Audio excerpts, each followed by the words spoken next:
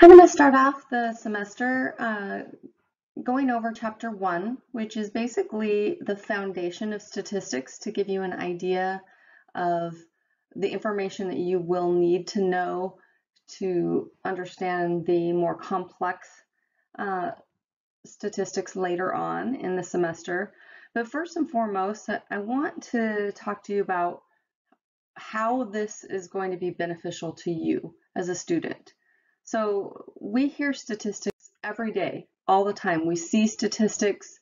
We are um, met with information frequently that's based off of statistics. And I really want you to be able to think about it critically and question uh, statistics if it is uh, if it appears misleading or if you're not sure where the data came from or what the study was about. I want you to be able to make decisions rather than just accepting the information as a given. Because truthfully, we can use statistics to lie. We can use statistics to bias the information. It might be um, based off of data, but it's the way that we interpret the data which can make things misleading. So the first thing I like you to do is just take a look at a, a graph that was um, shown in the media. So this was a long time ago, so uh, we're not dealing with anything extraordinarily controversial right now. But um, if I looked at this graph and asked, like, why is this misleading? Um, you might be able to um, state to me maybe some things that you believe are misleading about it. But if I wasn't asking that question, you might accept this information as a given, as this is the way it is, that there, um, you know, is a major difference uh, now compared to previously as far as um, these tax rates. So what I really want you to look at though is some of the reasons why this is misleading. So first of all, the scale. So we have an X and a Y axis. So the X axis is that horizontal axis. The Y axis is the vertical axis. And so really it, the, if you look at this vertical axis, the lowest number on there, um, and I'll kind of highlight right here. Sorry, if, if there's a delay, I'll use red. I think red will show up better. Yeah. Um, if you look right here, it's starting at 34. So it should be starting at zero. And then each of the increments above it should be equal. So, you know, if it started at zero, then it would maybe be 10, then 20, then 30, then 40. Uh, and so it needs to be equal increments. So another thing that I feel is misleading is the font and the numbers. So here, like we have this huge font for the title, okay? But then we have tiny font for these percentages because they kind of don't want you to really look at the percentages. They, they want you to just look at these bars uh, and go, wow, this one is much bigger than this one. And not even really look at the numbers. So if you hear barking during these, uh, I'll pause it. I do have dogs and I am doing this from home. So you might hear barks once in a while. It's usually the mailman uh, and, and he seems to come at different times of day. So I can never just totally count on it being at the same time. Sorry about that. So um, they're really trying to kind of persuade our eyes to avoid the numbers and um, focus on just the bar size. That's, that's a way of misleading the information. So the graph is suggesting uh, a 400% increase in price and, and these tax rates. But in actuality, there's only an 11% increase because the bar size looks like 400%. But it's only the difference between, you know, a, a very, very, very small um, percentage difference. So we want to make sure that we're really clear about um, when we look at the information that's given to us, is this is this a, a, a very um, appropriate a representation of the information? And, and there's lots of reasons why this is done in society. For one, um, it, it's often media driven or a, a group that is trying to persuade people one way or the other. Uh, as researchers, we want to be able to catch this and we also want to be able to present our own data and our own research in an appropriate non-biased manner. So here's really what it should look like. This is a, a much more accurate representation. So here we have the tax rates. We have the y-axis starting at zero. It's going in 10% increments each one and it actually starts at 0% rather than at 30%.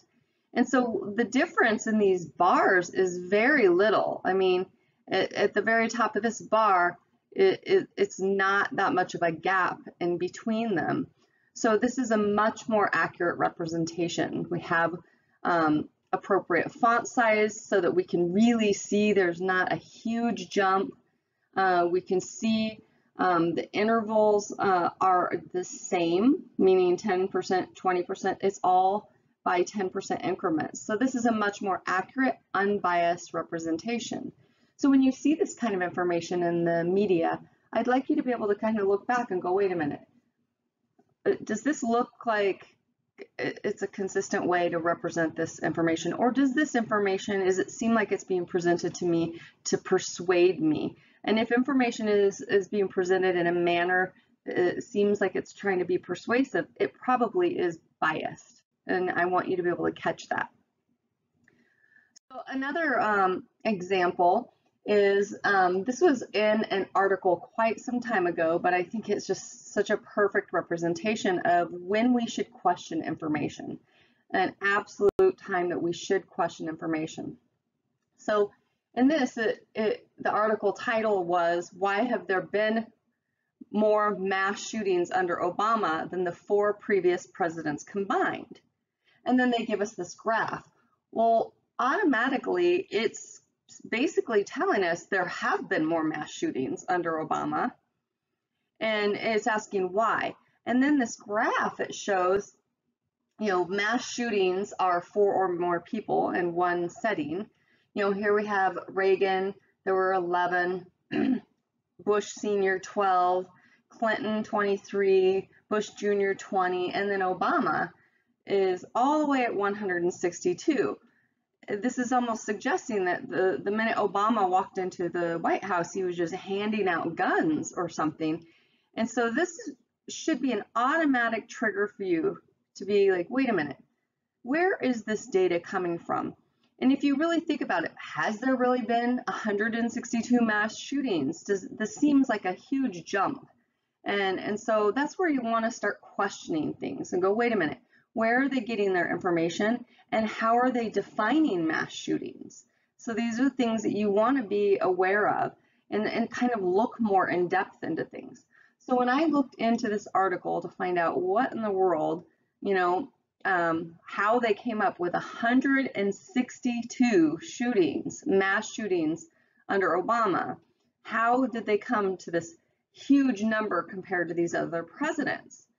So here's kind of some things that I looked at. First of all, hopefully none of your instructors have ever told you that it's okay for you to do your research using Wikipedia. Probably should not because it's um, not going to be accurate. It's not always going to be accurate. The Wikipedia, any person can get on there and alter the information. And Mother Jones database, um, either Wikipedia or Mother Jones might be good sources to start with to kind of get an idea of what is out there normally, but we want to make sure that we're using um, appropriate ethical databases and ethical resources. And we want to make sure that is matched with other um, types of uh, research um, that is ethically representative. So the problem with using database from Wikipedia and Mother Jones is the definition of mass shootings differs. The definitions for mass shootings for Wikipedia and Mother Jones is different than the definition of mass shootings by um, the FBI or the government, our government who collects data regarding uh, mass shootings. So uh, mass shooting is typically uh, uh, four or more people in one public setting at one time and the people that are involved in the shootings are usually strangers or some public setting where it's not domestic. Whereas um, they included just for Obama's when they collected the numbers for Obama they also included domestic murders which was four or more people at one time. So if let's say a father kills the entire family and there is four or more people in the family, they were including that in the um, data for mass shootings. So that's problematic. You have to have the same definition for all of them, and you have to collect the data in the same way, and you have to use um, resources that are appropriate and ethically bound uh, resources. So I, I actually um, dug in to the government database and I looked at um, their definition for mass shootings and I looked at the numbers of mass shootings under each of those presidents and I decided to show a, a, a graph that would be better representative of truly what the data looks like. So here is what I came up with. If you'll notice, you know, Ronald Reagan, six, George W. Bush, eight, Bill Clinton 18, George W. Bush 15, Barack Obama was 26. He did have more shootings than the others, but it isn't nearly as massive as the other presidencies. And if you look at this pattern, these are by years, the later years to the more present years. And um, this was conducted at the end of Obama's presidency. We haven't been able to get any get into the data yet for during Trump's presidency because this was at the end of Barack Obama's presidency. But if you'll notice, there's a pattern. The um, mass shootings have just gone up in general. So it seems like it's less about which president is in the office and more about our society and our culture in general. And, and so, but they wanted us to just see it as about that president. So uh, it's very interesting uh, to be able to actually critically look at this information and um, challenge our thinking and maybe not believe everything that's presented to us and maybe um, look into it a little bit more in depth so that we can actually be um, much better critical thinkers and, and consumers of information. So this was I know a lengthy process for me to explain to you why and on earth are you learning statistics. Because if you're not going to use it in psychology or in research, if you're not going to be conducting research, you're probably thinking why. And if you're not going to be in a field where you're going to be reading a lot of research, you might be thinking why. Well, as citizens, as, as people, we're presented with information on a daily basis we should be able to critically think about that information and decide whether it's truthful or biased. And that's what I'm hoping at the bare minimum you get out of this class. So with that said, okay, hopefully this works. I'll have to double check, but um, I went back and let's look at what statistics is in general. We're going to be working with statistics the entire semester. And these are just math procedures that we use to interpret our observations, to summarize them, to use them to predict other things. Um, so they're just mathematical procedures to make sense of things. So it's all based on data and everything that we observe or the information that we collect is somehow converted to data, which is numbers assigned to the observations. And so there, the these are typically called scores or raw scores. When you look at it as a whole, we talk about data. And so whenever um, we're using these procedures to kind of um, summarize uh, information about um, observations that we make, let's say I, I'm looking at um, how many aggressive behaviors 13-year-old boys uh, have during a school day. Um, I might I might provide you the entire data, so all of the observations, or I might, eh, eh, you know, look at just uh, some of the scores or the raw scores for the data, or I might summarize it with like an average or something to that extent. This is all statistics. If I'm not looking at every um, person in the world or every 13 year old boy in the world, I'm looking at a group of individuals and I'm going to summarize those. So this is what we're going to be working with. And it allows us to analyze things quantitatively. So basically, if we think quantitative, in a, a manner where there is values attached to where we can say this is more or this is less rather than any kind of subjective like this is nice or this is good it's like this has more frequency than this so that's where it's quantitative so there's two different branches of statistics that we're going to focus on this semester the first um, part of the semester, we're really going to be just looking at the most basic, which is descriptive statistics. And these are usually um, those procedures that um, are somehow quantifying measured behaviors, like giving us averages or giving us um, tables. It, it's giving us um, some way to summarize the information. It, it allows us to just not look at a thousand numbers and try to make sense of it. It somehow describes the data in some simpler way. Now, it's not going to tell us about what we would see if this happens or if we have tested a hypothesis. Descriptive statistics is exactly how it sounds. It just describes the data. That's all it does. Now, later on, in the semester, we're going to be using inferential statistics. That's where we get to infer. So we take the descriptive statistics and then we take it a step further and we actually uh, um, create mathematical procedures so that we can start drawing conclusions about the statistics. So we basically are taking a sample and we're inferring about the population. So if I have five people and I say, oh, these people have some special characteristic. And if I test them in this situation, this is what we would see with these types of people in the general population. That would be inferential statistics, and that's what we'll be doing down the road. So uh, right now we're just going to focus on just descriptive statistics. So some key things uh, about statistics is understanding um, the terms. And really, this is the basic um, uh, aspect of learning uh, the foundation for the remainder of the semester.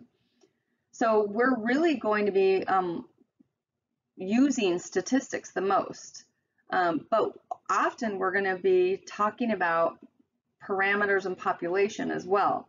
So we have, uh, if we think about um, population, that's everyone, uh, every individual of interest. So if I'm talking about adolescent girls, I'm not just talking about adolescent girls in Mesa, Arizona, unless I spe specifically say all adolescent girls in Mesa, Arizona, which in that case, all adolescent girls in Mesa, Arizona would be my population. But if I'm talking about all adolescent girls, I'm talking about every adolescent girl out there as being part of the population. And if I said, well, the average, um, maybe IQ of a population is um, 100. So if you remember from uh, introductory psychology, if we use the Stanford Binet, the average IQ is 100. Well, that is uh, a population value because we've done the Stanford Binet so many times across so many um, uh, different samples and so many different cultures and so many different um, situations that we now consider it a population because we're seeing the same results across and across. So we consider it, um, it we have these standards. So an average IQ of 100 is a parameter, which is a value that describes the population. But most of the time, we, we, we don't have access to everyone in the population. So we have to take a, a smaller group of people that represent the population. And when we have a smaller group that represents the population, that's called a sample. And if we have values that describe the sample, let's say um, my, a sample of, of people have an average IQ of 105, well, that, that 105, that value is a statistic. It's a value that describes a sample instead of a value that describes a population. It's a subset of the population. Most of the behavioral research that we do is on samples because our the groups, the population groups that we are, are um, researching, we can't access everyone. So we have to use a smaller subset of people that would represent the larger um, uh, population out there. So um, is what happens is we take descriptive statistics and we start summarizing the sample results, like giving averages, or we provide tables, those types of things. So kind of some differentiation um, between descriptive statistics and inferential statistics. Again, when we're using descriptive statistics, we're summarizing. When we're using inferential statistics, we're taking the statistics and we are generalizing to the population, saying, this is what you know it would look like in the general population is what we would be doing. So kind of to just uh, remember when I, I'll use the term parameter, that means uh, it's a value um, that is describing the population. If we use the term statistic, it's a value that describes the sample. So there are, there are values. So if I say the average IQ of Americans is 100, that's a parameter because that's a population average. If I say the average IQ of my students in statistics class is 110, that's a statistics a statistic because you're a smaller subset of the larger population. So just to kind of refresh on, on samples and populations. So there are basic ways that we do our research in the social behavioral sciences. Now these are not every way out there, there are other ways, but these are the three common research methods that we're going to talk about. And we're going to talk about um, very specifically these, how they apply to um, the research methods used in statistics. And we're going to look at them kind of in depth because truthfully, depending upon the, your data and what you're looking at, is going to depend upon the type of method you're using, whether it's experimental method, quasi-experimental, or correlational. So some of this might be um, familiar to you, and it might be review, which is good, um, because that means that it'll be easier for you to grasp. If it's new, you might want to like um, review a little bit more in depth, because no matter what, psychology is a science, and we do use the scientific method. It's just not as straightforward as a lot of the other fields where there's a lot more control involved. There's sometimes there's not a lot of control in human behavior. So first and foremost, we're going to look at the experimental method. The experimental method, um, some key aspects to this um, is that this is the only type of method that we can actually state cause and effect one thing causes another. That's the only, only time that we can ever say cause and effect is if we're using the experimental method. And the reason is, is that there's these criteria that we have to meet. So there's a lot of control so that of all the possible variables so that we can isolate what the cause and effect are. Whereas in many other research cases, we don't have that control. So unless it's an experimental method, we cannot ever state cause and effect. So there's three types of criteria that has to be met to meet the qualification for an experimental design. One is manipulation or manipulation. The second is randomization. And the third is basically control. And we're going to talk about these in depth uh, a little bit so that you can understand specifically what I mean, because there's a lot to this um, that can seem confusing. So first, um, to meet the experimental criteria for manipulation, we must have a true independent variable.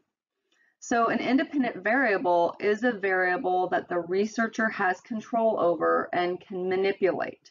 So for example, um, whether or not people are exposed to a new teaching method or a traditional method. So you, the independent variable in this would be the type of teaching, like the teaching method. So you're going to manipulate who goes into the new teaching method and who goes into the traditional teaching method.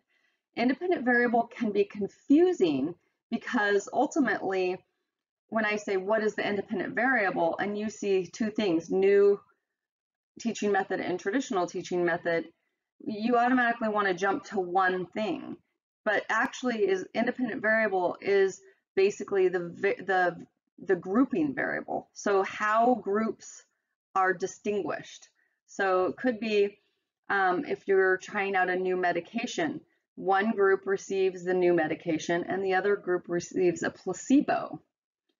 And so they think they're getting the medication, but it's just a sugar pill. So it, that independent variable would just be the treatment, it, eh, you know, because it's an umbrella term for both of the groups. So when you think independent variable, there should actually be two groups if it's a true independent variable. And you can usually use one word to summarize those groups, or you can state both groups. The second criteria is the random assignment, and that's part of this grouping. So basically, um, every person in the study should have an equal chance of being in either the new teaching method group or the um, traditional teaching method group. So everyone is randomly assigned to each. So that's where uh, the random assignment comes into. So each person should have, have equal chance. It shouldn't be, oh, the researcher really likes these people, so they're going to go to the new teaching, and the other ones are going to go to the traditional teaching. No, it has to be equal um, assignment, so equal chance of being assigned to either one of the groups. So random assignment is used uh, for a true experimental method. And then the third, it, there's at least two groups observed. Again, so that's where we're going back to um, the independent variable having two groups.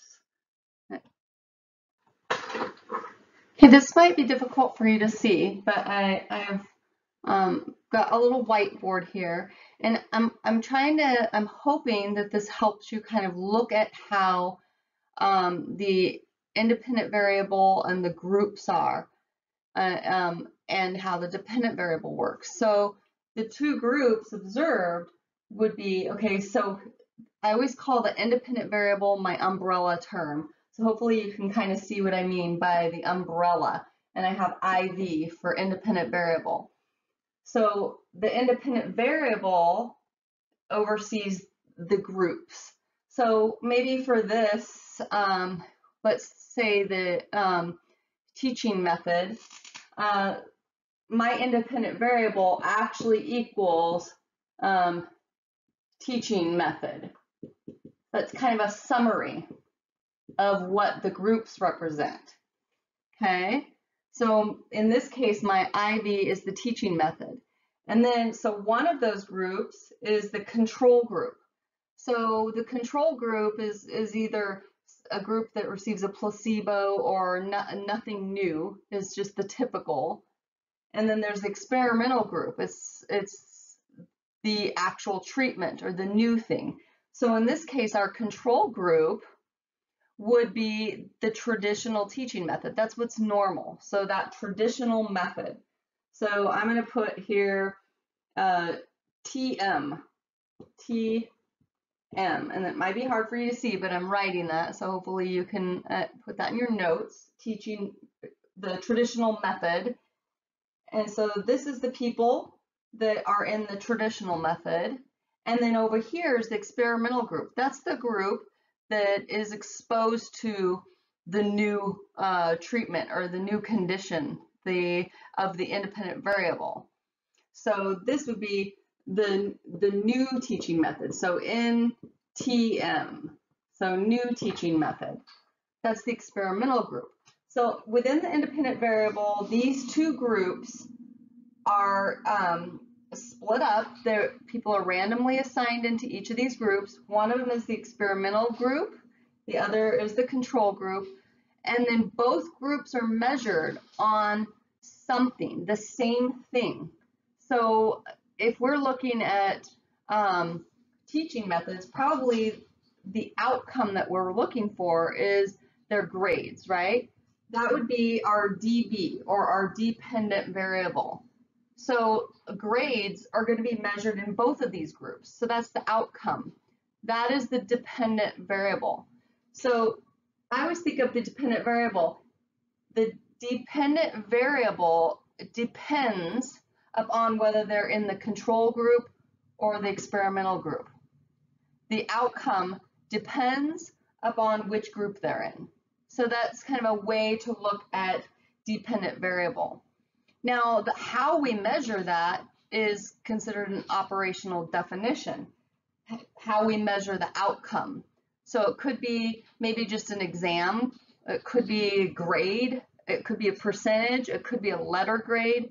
It, it, it just depends, and that would be the operational definition of a dependent variable.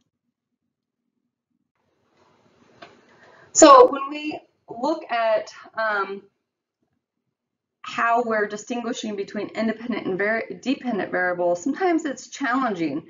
Uh, sometimes I'll be asking, you know, um, uh, for you to tell me what uh, the independent variable is. And you might want to jump and say, oh, the new teaching method. Um, not necessarily. The new teaching method is the experimental group. It's part of the independent variable, but it's not all of it. So um, the independent variable often is kind of a summary. The type of teaching method would be the way to look at it. And then um, in this case, they were measuring specifically reading achievement scores. That was their operational definition. So they're um, specifically operationally defining their dependent variable uh, through reading achievement scores specifically to see whether the new teaching method is better than the traditional teaching method.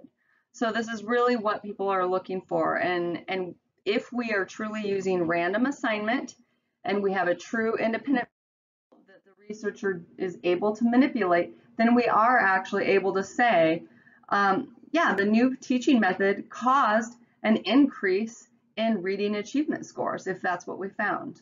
Uh, so it's the only time that we can actually state a cause and effect. So let's think about operational definition, just because it sometimes is difficult.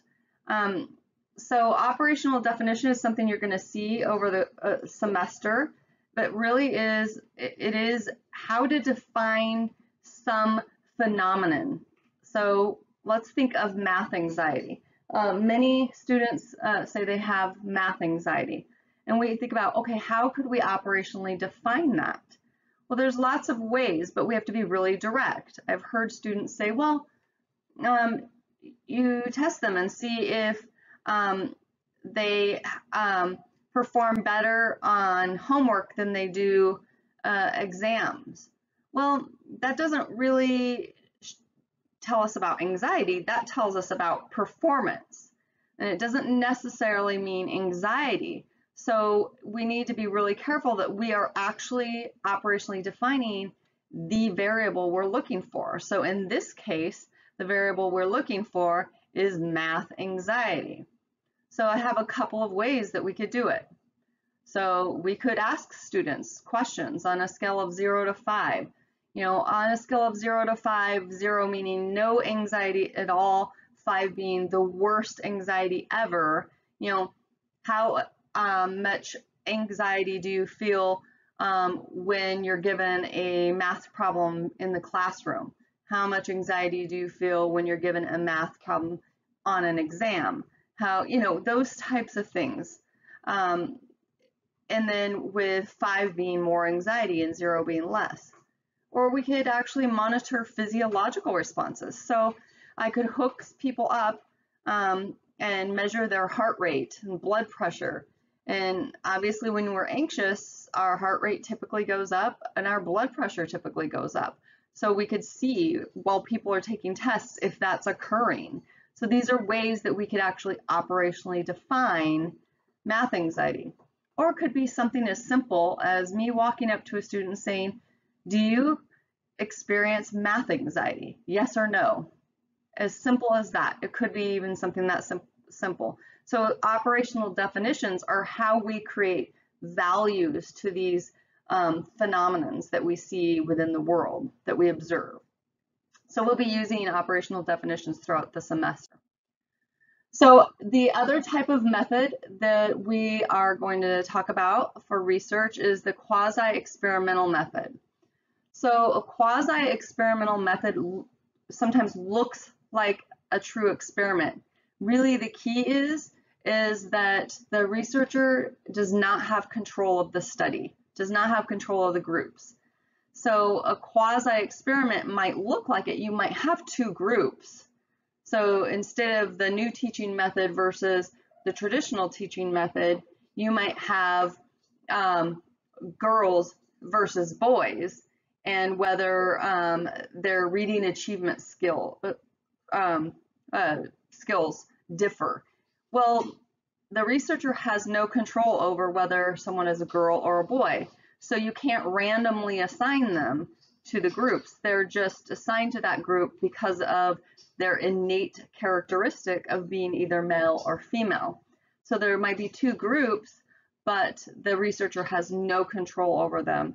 So we could still operationally define uh, the dependent variable and we would have two groups, but we cannot state cause and effect because uh, being a boy does not cause you to do better as as far as reading achievement scores. That's not necessarily the cause of it. We can't control everything else. So a quasi-experiment looks like a, a, the true experiment, except for there is no control because the groups that distinguish is often based on some innate characteristic or trait that um, the researcher has no control over. And that's that quasi-experimental method.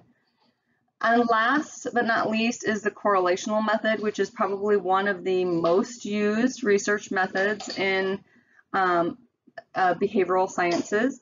And so this is basically where we're looking at the strength and direction of the relationship between two or more variables. So now they're not conditions we're looking at two variables and we're looking to see if there's a relationship between them. And if there is, what is the strength of the relationship and what's the direction of the um, relationship. We can't randomly assign because there isn't actual groups to control. So we're looking at uh, things like um, SAT scores and college GPA. So for each student, every freshman student, we can look back and see, oh, what was your SAT score? And then what's your current GPA? And then we look and see, is there a relationship? And we do often see that as um, students have higher SAT scores, they're usually their freshman GPA is higher. So we see a relationship and we see that it's all it's going up. As one goes up, the other goes up. And that's the correlational method. And that's used the most frequently in behavioral research because we often can't control situations and we often have to look at information in hindsight to look at what we've already done. So again, with correlation, we can't state cause and effect. We can use it to predict. So we can see, you know, there is a high probability of a high GPA if a student has a high SAT scores. It's a high probability, but it's not an absolute and we can't say one causes the other. So it's all just about relationships. So those are the methods for research. But let's look at how we conduct the research and how we look at um, the information using data because that's really ultimately what we're going to be doing. So we have to look at things called classifications.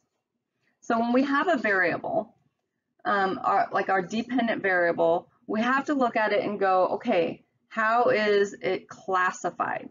So one of the ways that we look at classification is just what does the score mean?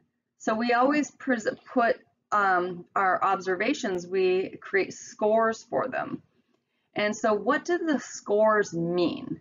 So with a classification for continuous, it means that there can be decimals, absolutely. So it's a continuum, uh, the numbers could be any number beyond any decimal point, and they go on and on and on. Those are continuous. So think of any numbers that could be uh, fractions or decimals are, is continuous data. That would be something like if I um, was measuring exam scores. Um, with exam scores, you could actually have uh, decimals, uh, whereas if I looked at letter grade, that's discrete. There is no halfway point. It's either A, B, C, D, or F. Um, whereas um, if we're looking at A, uh, a grade of an A, using it in a continuous manner, it's anything from, uh, you know, 89.5 if you're doing the rounding to, you know, 99.4. Uh, so anything like that is an A or 100% if you want to look at it that way. So um, that would be continuous because it could be anything within that decimal point. Whereas discrete is um, whole numbers or just categories, just basic categories. So um, gender, whether you're male or female, that's just a category. For statistics, we assign numbers to that, but the number is meaningless. So that's how we kind of look at um, the data in a sense to be able to distinguish. It's either discrete or continuous. So you're going to be asked, so tell me, like, what is the classification of a variable? You should be able to uh, tell me whether it's continuous or discrete, but it doesn't end there.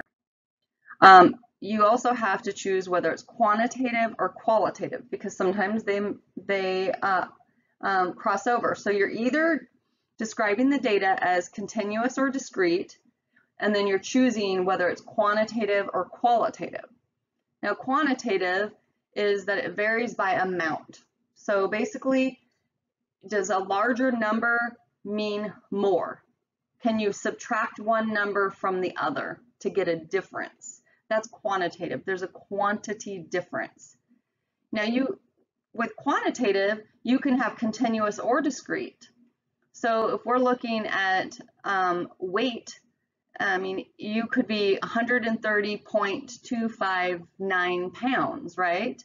And that's decimals, that's continuous. But if we're looking at number of students in statistics, that's discrete because you might be half aware that you're here or watching this uh, video, but you're not counted as half a student. You're a whole student, no matter what. So that's discrete because it's whole numbers. So uh, quantitative, um, if we're looking at weight in pounds, it would be quantitative and continuous. If we're looking at numbers of students, it would be quantitative and discrete. So whenever you talk about classifications, you should be giving me two classifications. And when you look at qualitative, think about um, categories. You know, you, you just have categories. There's no exact value difference. So gender, male versus female, or it could be level of interest, low, medium, and high. High is higher than low, but we don't have an exact amount. We can't subtract low from high and get a difference. There isn't an exact amount. So we have to be real careful. It's a quality difference rather than a quantity difference. So these are the four different classifications and they're in groups. It's either discrete or continuous quantitative versus qualitative. And whenever you're asked this, because you will be asked it on labs and you will be asked it on the exam, you should be giving me two different classifications from each of the categories of classifications. The next uh, we'll look at is scales of measurement. So scales of measurement um, really is what tells us what type of statistical procedure we're going to use. So how are we going to summarize the data? How are we going to, going to make sense of this? How are we going to tell people in a manner that makes sense? And I'm sorry, this gets cut off where my picture is, but I'll describe it to you. So really the question of determining uh, between the scales of measurement is what does the number represent? So when you're thinking, oh, what do you mean a number? Male and female doesn't have a number. Well, when we're doing statistics and we put this information into software, it, it does. We have to provide a, a numerical value to create categories. So there's four different scales of measurement. So in the future, you're going to be asked on, on the exam, you're going to be asked on labs, provide me the classifications and scale of measurement for this variable. So you really will be asked to provide the classifications, which is two, and then which scale of measurement is this um, is this va variable representing? And it's all about what the number represents. So when we're looking at nominal, so don't think number. Nominal to me always makes me think number. Think name. So nominal is just a category. So an identity or category, like male versus female. In our software, we're going to put one equals male and two equals female, but the values are meaningless. They're just placeholders. Um, same as political affiliation, whether you're Republican, Democrat, Independent, those are just classifications. They're just categories. So those are nominal. And then there's ordinal. That's usually when things are ranked or put in some kind of an order.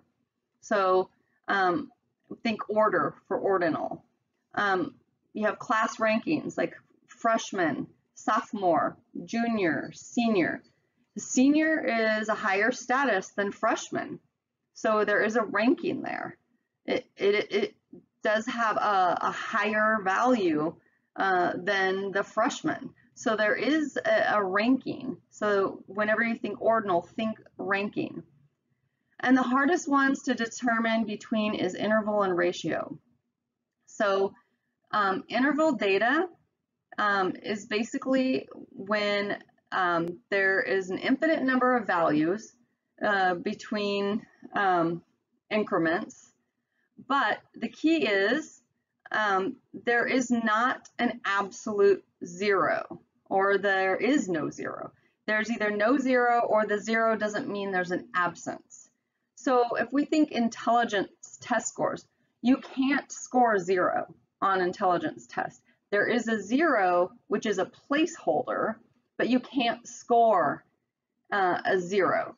And the zero is put there after the fact to just um, provide kind of a baseline there is no uh, there is no human that has zero intelligence.